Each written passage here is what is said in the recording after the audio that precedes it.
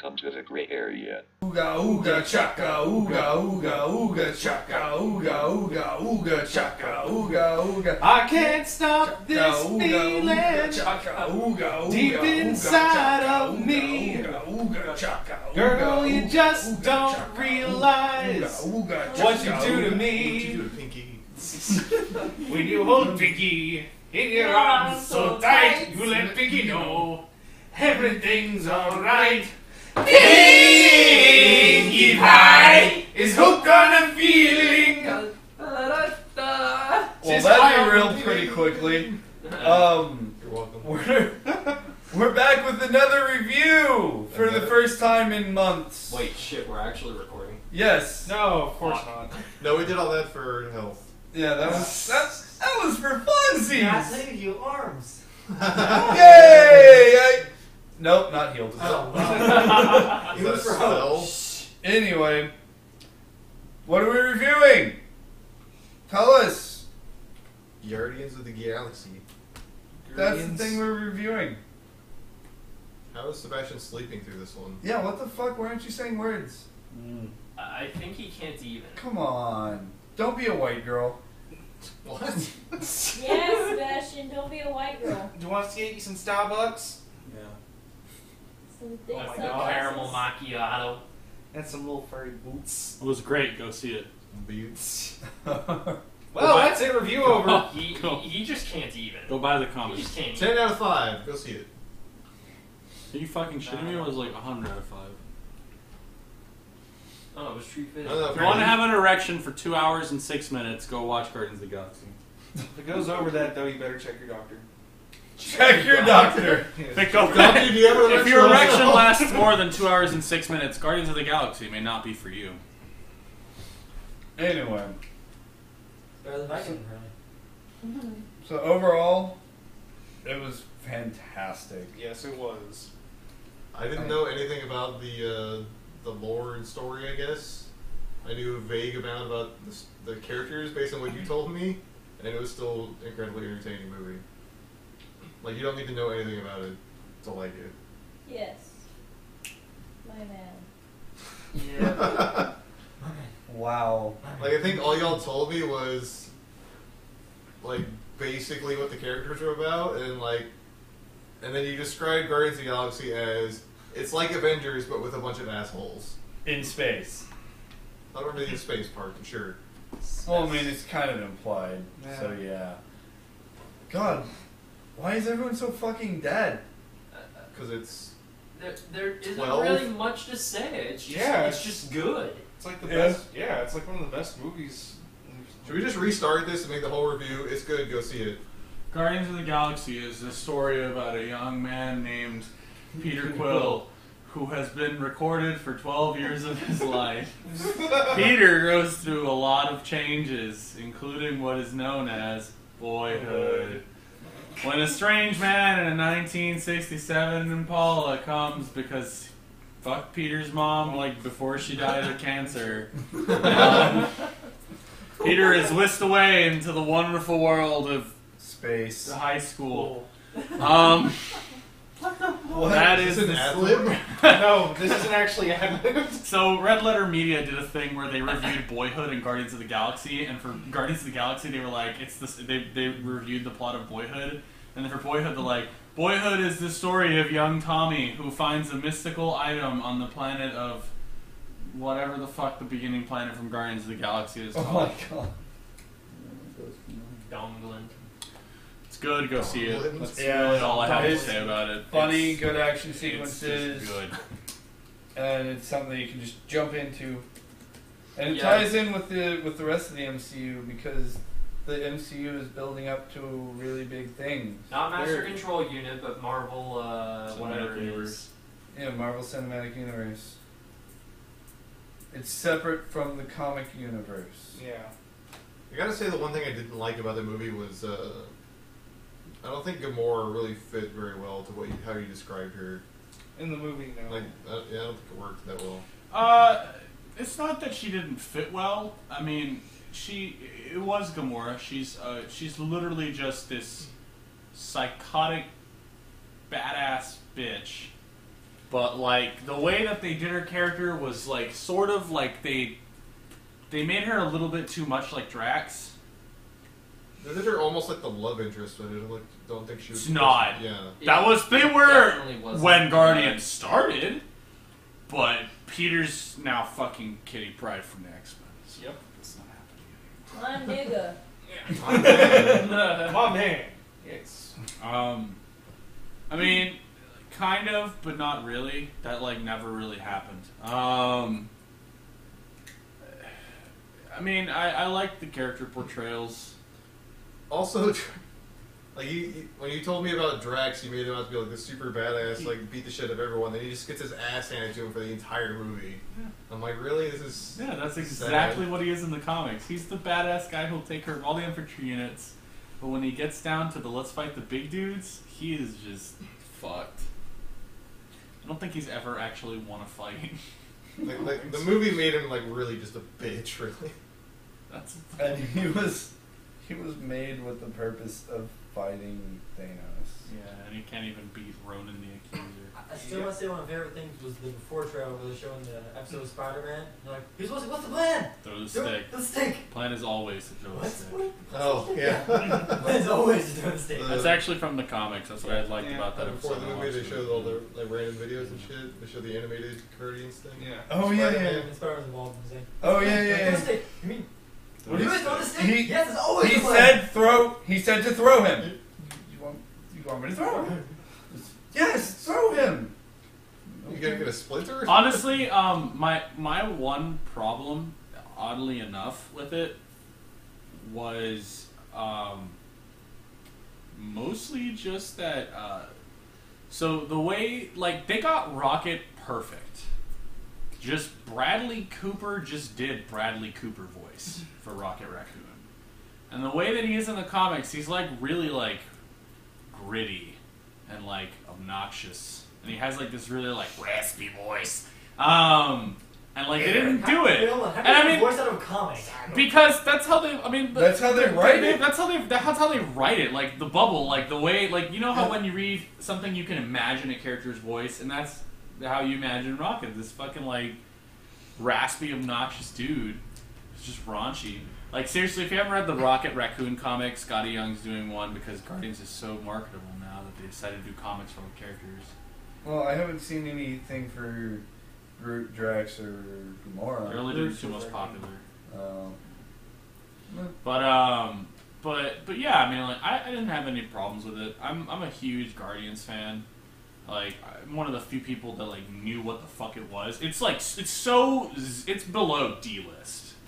So like I was pretty amazed when they were like, "Hey, we're doing a Guardians movie." I was like, "What?" The So f-? for reference for reference on what he's talking about, um, if you read the comics, after uh, the movie got announced and like we got to see the uh, the outfits for the movie, the the outfits for the characters in the comics changed to reflect what was in the movie. Like that's how were. fucking small. Peter Quill's gun even changed to be the one in the movie, and they even explain it, and I was like, "What? what?" Like he still has his old gun, but like he got a new one, and I was like, "All right." Like the comic's great; it's still written really well. Um, I just think it's really funny that like the movies influence influence the comic. It's funny. Um, money, movies bring lots of money. yeah, it was just weird. Like I couldn't believe that that was what they had picked. It was Guardians of the Galaxy. I was like, you have Doctor Strange, Black Panther, you have Well- fucking so much other shit that's actually a lot more fancier than that. Well, to be fair, for Doctor Strange and Black Panther, they're kind of already doing that. Motherfucking Nova, dude. At least he's popular. Yeah. People know who Nova is. For fuck's sake, people know who Nova is, and they're like, let's just do Guardians. Which was like, what?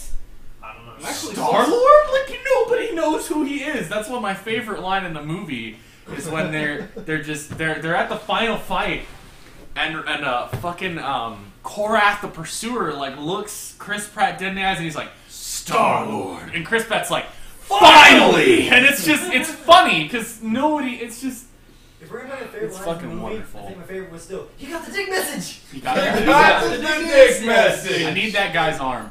Um, it's, it's important to me.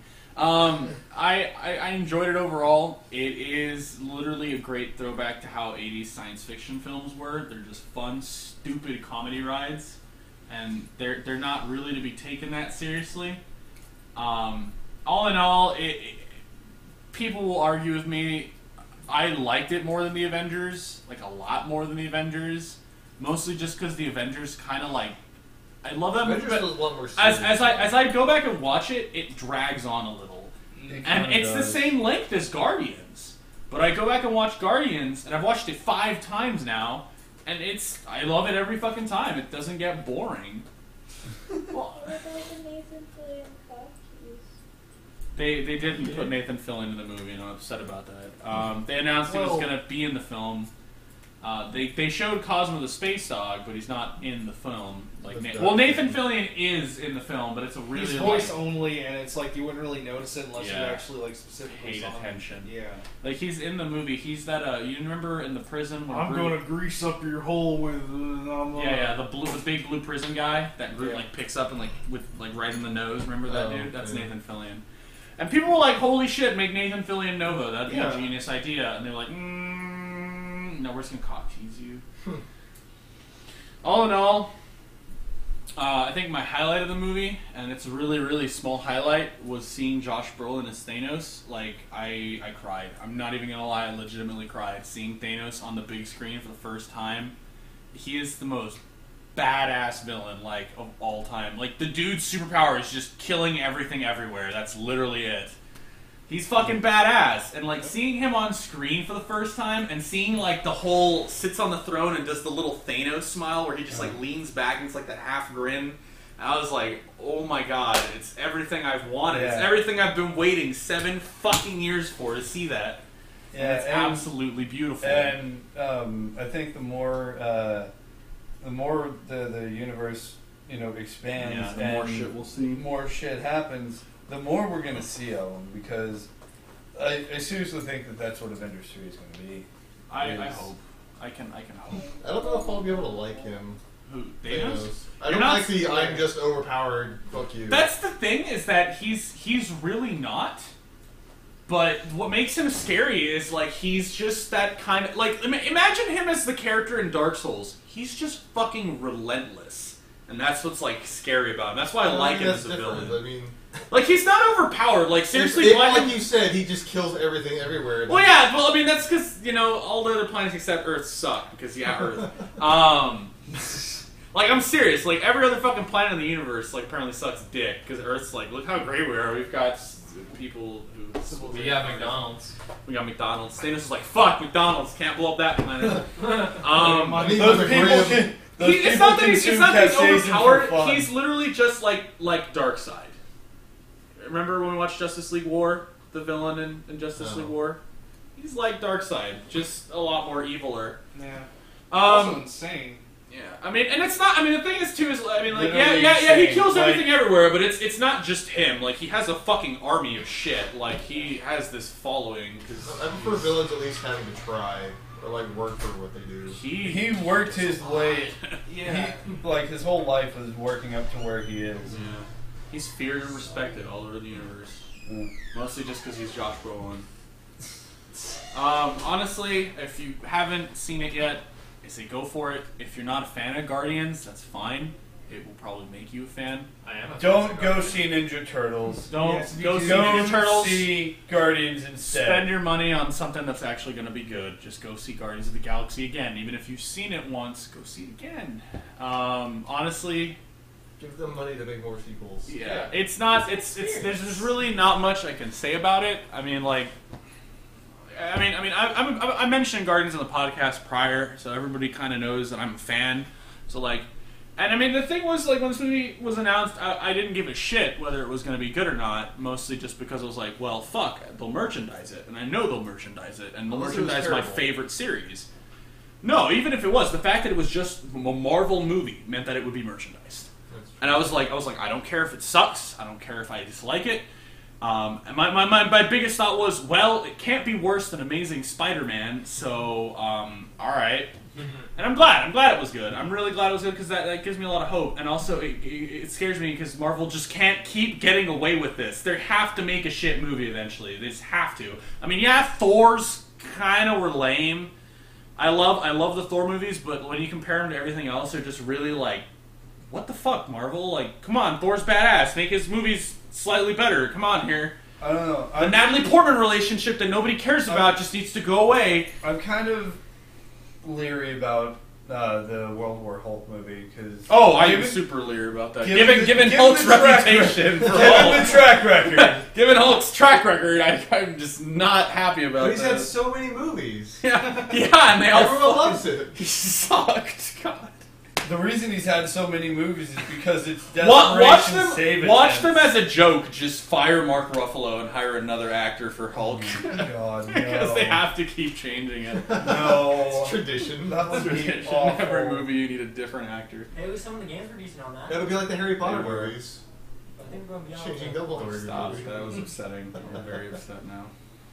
You know, um, what else can we say about Guardians other than it's fantastic? It's Funny. It's definitely one of the best movies I've seen this year. Mini action. Um, From the Chris from almost Pratt's the very beginning, it's fucking funny. Yeah, like literally the After the depressing intro, then it's just hilarious the entire movie. Yeah, I mean, the, literally the intro scene. Let me put it this way: James Gunn is a master at what he does. Um, watching him finally become a big screen director after all his little smaller projects. I mean, Super was a great movie. There was he's done a lot of really great stuff, and finally watching him like. You know, Spread just, his wings. Here, I'm spreading my wings. Look at me, I'm a fucking real director. Was was great, and that was that was good to see. And uh, his his whole his soundtrack stuff is probably the, the best soundtrack I've ever seen in a movie, and the best usage of, of of old '70s songs that nobody's listened to in a really long time. It was genius. It was a great film. It was it was fun. Um, go see that or go see the new Planet of the Apes because both are pretty good. Um, honestly, Don't see Ninja Turtles. don't see Ninja Turtles. It was fucking shit. It's the blandest fucking piece of garbage Don't see I've ever seen in my Transformers life. either. Don't see Oh, yeah, Transformers either because that was also bland There's Michael fucking Bay. piece of garbage. Um, but yeah, that's Guardians. Um, yeah, lead, lead us out. Bye. Uh, thanks for Bye. listening. Go see Guardians. Buy the comic books. Buy the toys. Buy our toys. Buy the Buy stuff. our toys too. Yeah, buy our toys. Buy we need to get. We need to get Yeah. working on that. Touch Yeah. with broken back. elbow functions. Yeah. Articulated elbows. Not very No, no. Mike, Unarticulated, no, Mike articulated now comes elbows. with Tuck's action figure. Yeah. All right, Fucking that's it. We're out. complete with splint accessories. Splints You accessories. can Oh, pretend he has oh, God. broken arms. With with front brake action. Oh Jesus Christ.